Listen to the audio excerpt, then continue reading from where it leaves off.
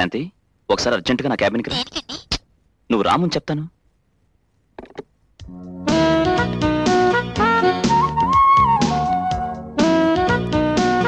Office staff అంతా వెళ్ళిపోయారా? వెళ్ళిపోయారని చెప్తే చిన్న కొంటి పని చేయడానికా? నే చెప్పే గుడ్ న్యూస్ వింటే చిన్న కొట్టి పని కాదు పెద్ద కొట్టి పని చేయమని నువ్వే అడుగుతావు. అంత గుడ్ న్యూసా ఎస్ ఆంధ్రప్రదేశ్ హోటల్ ఓనర్స్ అసోసియేషన్కి నన్ను ప్రెసిడెంట్గా ఎన్నుకున్నారు. నిజంగా? కంగ్రాచులేషన్స్ అంత గుడ్ న్యూస్ చెప్తే ఏంటేనా? ఇంకేం కావాలి? వదలండి ఎవరైనా వస్తారు. అబ్బా వదలండి ప్రభాకరం చూశాడు. చూసేశాడా?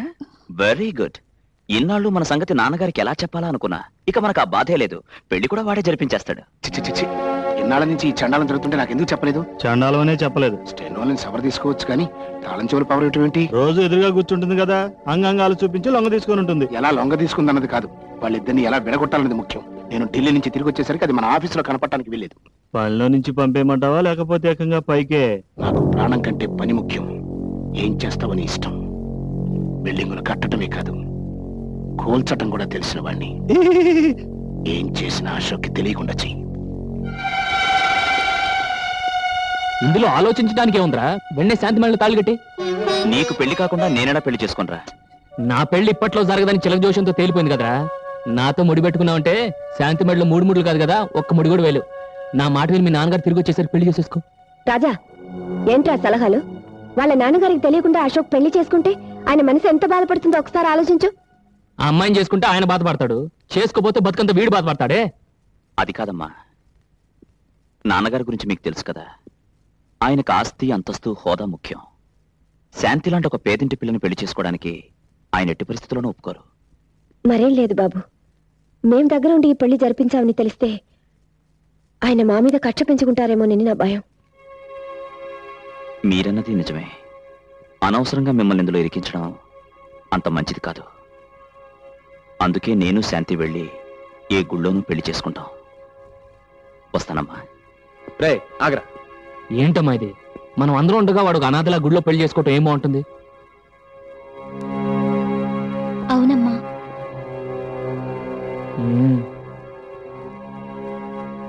సర్లే అన్నిటికీ ఆ భగవంతుడే ఉన్నాడు.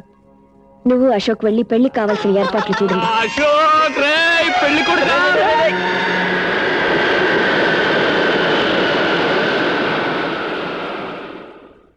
ఏంట్రా?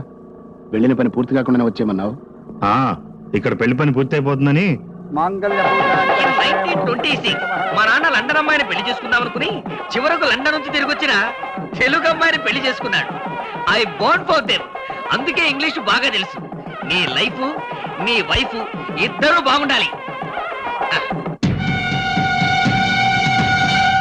Wish you happy marry life it's okay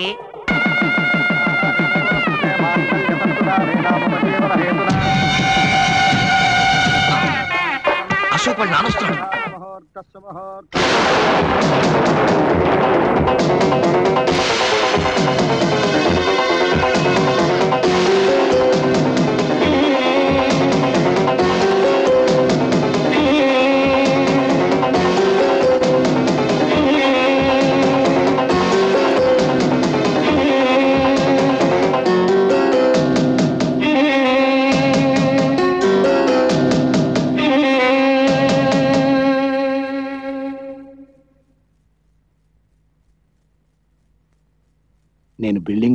కట్టించేవాడిని కానీ కాపురాలు కూల్చేవాడిని కాదు.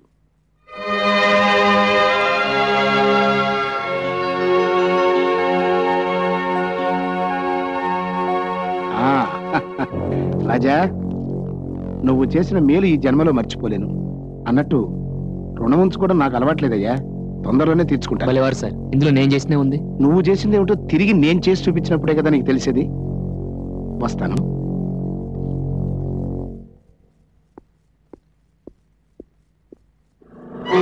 ఏదో భూగోళం బద్దలు కొడతానని భూదేవిలో అక్షంతలు వేసి ఇచ్చారేంటి? నేను వేసే ప్రతి అడుగులోనూ బంగారపు గని ఉంటుందిరా. తెలివైన వాడు ఎప్పుడు ఆవేశపడడు. ఆలోచించి దెబ్బతీస్తాడు. రాజా! రాజా! ఏంట్రా ఏంటి? పొద్దునే డాన్స్ కొడుతున్నావు? నిన్ను మిలినీరు చేస్తున్నాడు ఎక్కిస్ కృష్ణ. మిల్లిందా? అబ్బా! నీకు ఇంగ్లీష్ రాదు కదూ? మిలియనీర్ అంటే కోటీశ్వరుడు. నిన్ను కోటీశ్వరుడు చేస్తాను. కల్లోనా? కాదు ఇలాలో. హియర్ ఇట్ సెల్ఫ్ బ్యాంక్ కన్నా నో నీడ్. ఆ బాక్స్ కన్నమేస్తే చాలు. కమ్ బాబు కమ్ నియర్. డోంట్ ఫియర్ ఏంట్రా ఇదంతా? Wait open it show it to him he can't believe it twenty five lakhs పాతిక లక్షలు. ఎందుకు? నువ్వు ఈ స్థలం వాళ్ళకి అమ్మితే వాళ్ళకి ఇచ్చే అడ్వాన్స్ నేను ఈ స్థలం అమ్మను. రాజా నో సెంటిమెంట్స్ అమ్మ ఇల్లు అమ్మతున్నది కానీ స్థలం అమ్మతం లేదుగా ఈ స్థలం అమ్మితే గుడ్లు ఎక్కడ ఉంటాయి సింపుల్ వచ్చే డబ్బుతో ఏడంతస్తుల మేడ కట్టి ఏడో అంతస్తులో ఏసీ రూమ్లో పెడతా గొడ్లని చూడండి మా వాడు మిమ్మల్ని తెలియకి తీసుకొచ్చాడు దయచేసి వెళ్ళిపోండి. తెలియంది అతనికి కాదు నీకు. లెక్కలో ఎక్కాలో తెలియని నువ్వే పొరపాటు మాట్లాడుతున్నావు నీ లెక్కల్లోంచి అమ్మ కూడదు అనే ముక్క తీసేసేయి. కూడికలో తేడా రాదు కోటీశ్వరుడు అవుతావు. చూడండి డబ్బు సరిపడగా ఉంటే అది మనల్ని కాపాడుతుంది. మితిమీరితే దాన్ని మనం కాపాడాల్సి వస్తుంది. నాకున్న చాలు దయచేసి వెళ్ళరండి. నువ్వు అమ్మకపోయినా ఆ స్థలం నేను తీసుకుంటాను. నేను అమ్మకుండా మీరెలా తీసుకుంటారు? బలవంతంగా. ఏంటి బలవంతం? నా కోడిదోడు కొమ్ము. చూడు మిస్టర్ రాజా నేను ఎందుకు చెప్తున్నానో అర్థం చేసుకో. మర్యాదగా ఇది తీసుకో.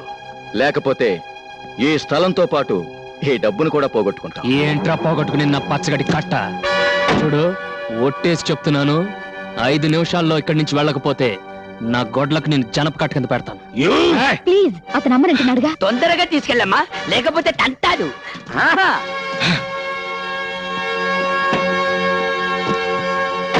చూస్తా. ఏంటి బే చూసేది? పేడకడి. ఆ, ఎప్పుడు తీసుకురాను? ఆ, ఆహా. పిన్ని! అవతల సినిమా టైం అవుతుంది. మనం బ్యూటీ క్వీన్ ఇక్కడే. గంట నుండి బాత్రూమ్లోనే ఉంది. సరే సర్లే. సబ్బరిగే దాకా శుభలక్ష్మి ఎలాగో బయటికి రాదు కానీ సినిమాకి టైం అవుతుంది. మనం బయలుదేరుతాం. పదండి. పదండి. త్వరగా రాదు. ఇది వచ్చేటప్పుడు ఇంటర్వ్యూలు అవుతుంది. ఏటమ్మా?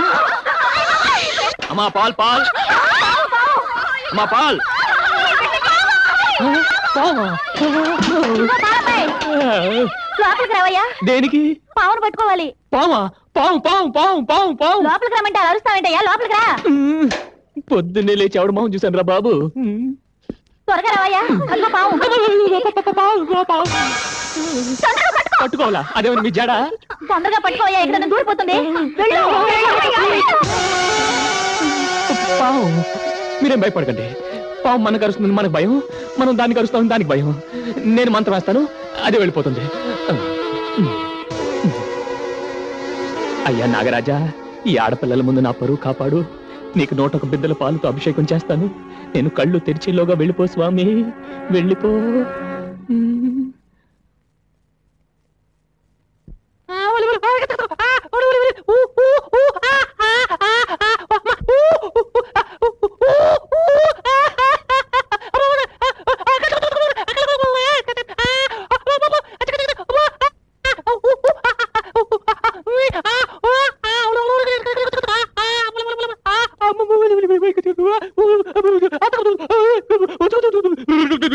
lo.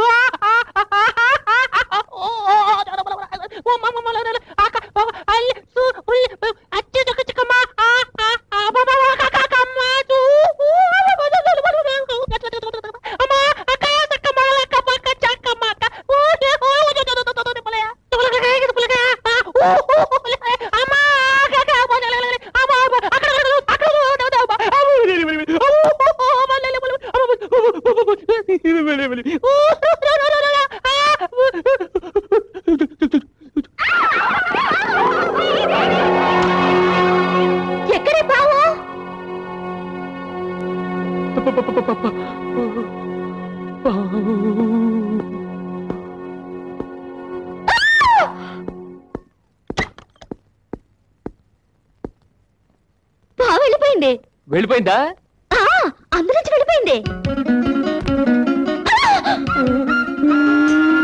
దేవుడా దేవుడా దేవుడా దేవుడా దేవుడా దేవుడా దేవుడా దేవుడా దేవుడా దేవుడా దేవుడా దేవుడా దేవుడా దేవుడా దేవుడా దేవుడా వెళ్ళిపోయిందండి ఎలా చెప్పమంటారండి యాపిల్ పండ్ల ఎర్రగా పందర్లడ్లా బొద్దుగా ఉంటుంది ఆ పిల్ల పేరేంటి ఆ, సుబ్బు ఆ సుబ్బు బాత్రూంలో స్నానం చేస్తుంటే నేను మొత్తం చూసేసానండి